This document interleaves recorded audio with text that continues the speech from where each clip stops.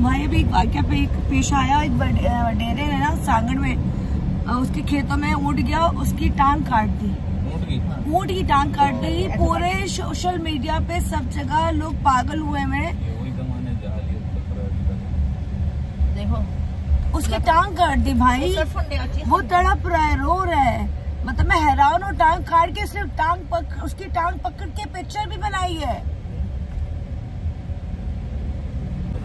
यहाँ से काट दी ना गोटे से काट दी उसकी टांग भाई। मैं कहती इंसान कितने बुरे लोग कौम हो गई है कि इंसान अपने लेवल्स के हर हर दर्जे से गिर गई है। नाकाए सौले की ऊँटनियाँ काटने पे अल्लाह ने अजाब नाजिल किया था ना कौन? अच्छा। जो हज़रत सौलह की पूरी कौम फ़र्क हो गई थी। ऊँटनी की ऊँटनी की टांगे काटी। अच्छा। हाँ, नाके साले पुराने बात में ज़िक्र नाके साले के टांगे काटने पे अल्लाह ने ऐसा अजाब नाजिल किया था पूरी कौम में लड़ दी थी वगैरह पूरी कौम तो भाई ये उस, उ, उ, उसने क्यों काटी थी? इसी वजह से उसकी बस यही हसद वो दलालत। भाई वो ऐसे रो रहा है ऐसे रो रहा है ऐसे रो रहा है। तकलीफ़ यार भाई मैं कहती हूँ लोग कितने बुरे हो गए हैं कि उसकी टांग काट दी वो खड़ा हुआ बेचारा एक टांग के साथ। आगे की एक टांग ही नहीं है उसकी। और वो रो रहा है लोग वहाँ जाके वीडियो बना रहे हैं कि इंसान इतना गिर चुका है कि वो जानवरों को भी नहीं छोड़ रहा। इससे बदस हैं हम तक करम है वरना अल्लाह का ऐसा नाजिल हो उस वक्त भी तो नेक लोग होंगे ही। ना अल्लाह ने किसी का लिहाज नहीं किया था सबको बड़े टिकट में गए रसूल से बच जाते हैं वरना कितने कितने गंदे काम जो पुरानी उम्मतों ने किए ही नहीं है वो करने रहेगा वो सारे घटिया काम ये कर भाई, सुबह से देख रही हूँ, इतना दिल खराब हो रहा है, इतना दिल खराब हो रहा है। और ये फखरिया तौर पे तस्वीरें भी शेयर की उसने काटे डॉन बन गया होगा जैसे वो जहालत है कि हमारी ज़मीन पे कदम कैसे हाँ कदम कैसे रखा? मैं कहती हूँ कुर्बानी का जानवर होता है तुम सुबह छह बजे पिक्चर भेज रहे थे गाय को खिलाते हुए। तो मैं वही कह रही थी मैं कहा देखो कितना होता है खाना खिलाओ। हाँ? हाँ सुबह भी खाना खाना खिलाए। रात सोए ना तुम? सो गए? मैं नज़र निकल जाती वो रास्ता नहीं है पहले ले आओ। हमारा नहीं बकरा नहीं खाता हाँ गाय माशाल्लाह। तो। दूसरे बकरे हमारे खा लेते। हैं हाँ हाँ भाई सैमा हसरी कह रही है, इसकी हरकतें चेक करो ये कर क्या रहा है? है।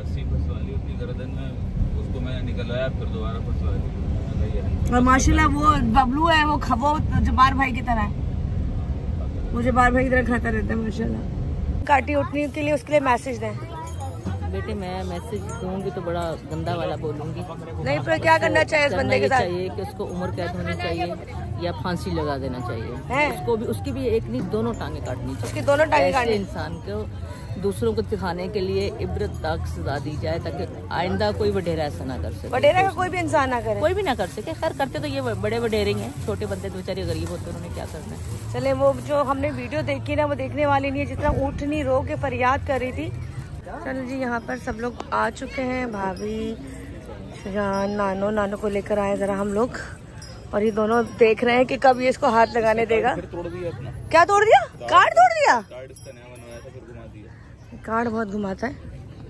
और ये सब लोग बैठे हुए चले जी ये चार पाँच लाख का एक बकरा है माशाल्लाह।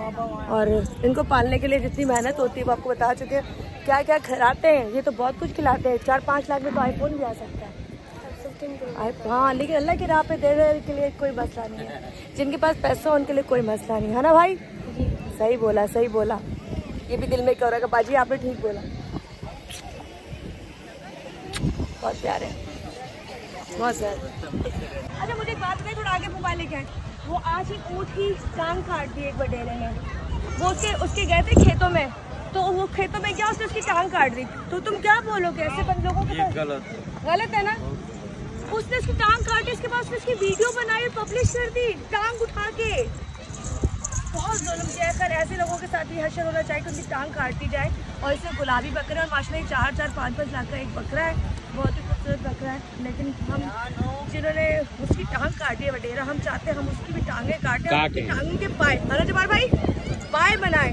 और उस- हरामी के पाए दोनों दोनों टांगे वो भीख मांगने के चक्कर। हरामी। ये हलाल के हैं। हलाल के। उसकी टांगे काट के कुत्तों को दे बंदा। भाई तो बहुत प्यारे लगेंगे। हाँ?